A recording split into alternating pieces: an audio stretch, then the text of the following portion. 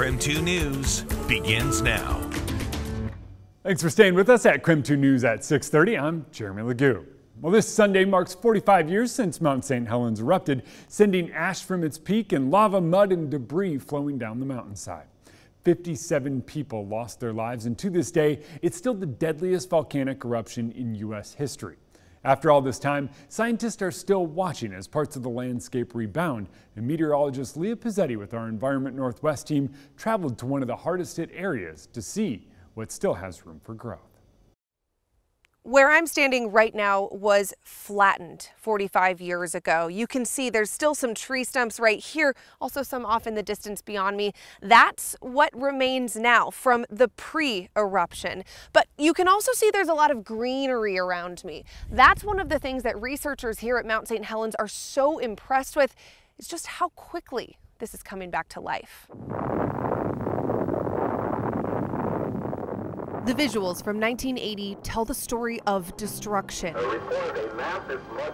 57 lives lost and an entire ecosystem wiped out. When Mount St. Helens erupted, hot ash filled the sky and dumped on surrounding communities. A once dense forest was flattened. Nearly all plant and animal life ended. The eruption itself was different than we would usually think about, where a volcano erupts up and out. This one erupted out the front of the volcano, and so the landscape right in front of the volcano was dramatically impacted by that eruption. The eruption turned what was once flat landscape to these hills made up of volcanic debris called hummocks that still stand today. Between them, 150 new ponds formed, mini ecosystems that would eventually support new life. In the days and weeks following the eruption, scientists realized that under the blanket of ash, some creatures shockingly survived, like gophers that had burrowed, then played a key part in bringing life back. By burrowing, they can mix in old soil into the new ash that's on the top of the land. That creates conditions in which plants can grow. Donald Brown, lead scientist for Mount St. Helens, says certain plants that could survive in the nitrogen poor area were some of the first signs of life to spring back.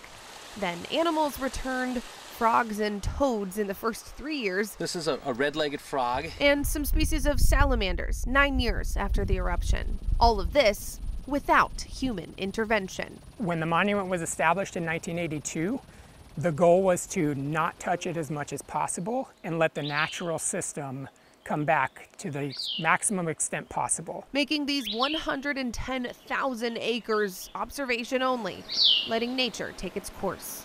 One of the stories of this place is that it has recovered dramatically faster than anyone guessed it would have. This was a moonscaped landscape when it started, and Nobody would have guessed that it would look like this 45 years later. But not all life has found its way back. A few salamander species and the coastal tail frog still have not returned, and scientists don't know if or when they will. With a slowdown of new species returning, the focus has now shifted to watching and waiting as the forest returns to its former density something that will take time. At this point in time, we're seeing the forest come back in. That's what we're watching.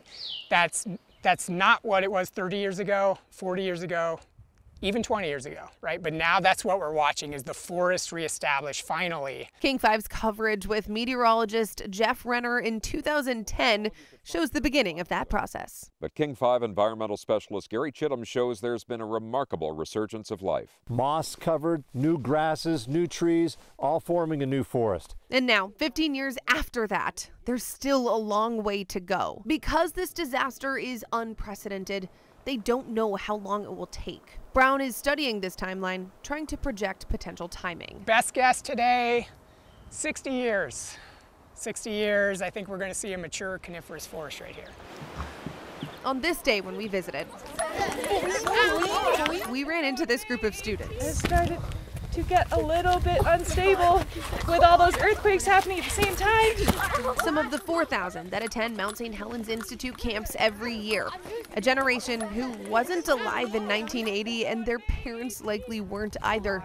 They're learning from this evolution. We speak a lot about a large disturbance happening, but then how the landscape and the ecology is really resilient. And that lessons of resilience is a really important like takeaway for our school groups. Carrying all that magma. The idea is to make sure the next generation understands the destructive force of the volcano and the lifetime it's taking to bring the environment back. We are truly starting from zero.